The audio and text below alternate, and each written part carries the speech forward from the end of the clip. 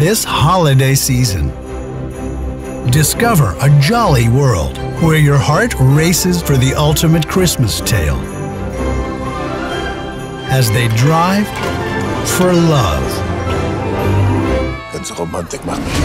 Enter a world of speed, betrayal, passion, and cars.